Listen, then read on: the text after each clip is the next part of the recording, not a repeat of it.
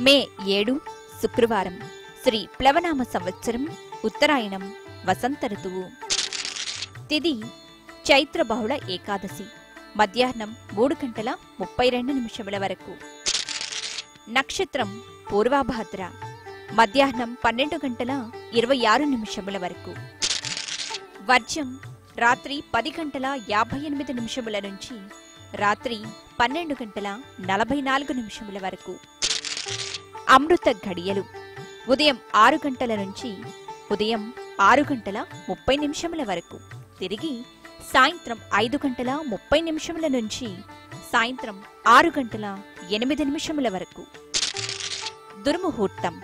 ఉదయం ఎనిమిది గంటల పద్నాలుగు నిమిషముల నుంచి ఉదయం తొమ్మిది గంటల ఐదు నిమిషముల వరకు. తిరిగి మధ్యాహ్నం పన్నెండు గంటల ఇరవై తొమ్మిది నిమిషముల నుంచి మధ్యాహ్నం ఒంటి గంట ఇరవై నిమిషముల వరకు.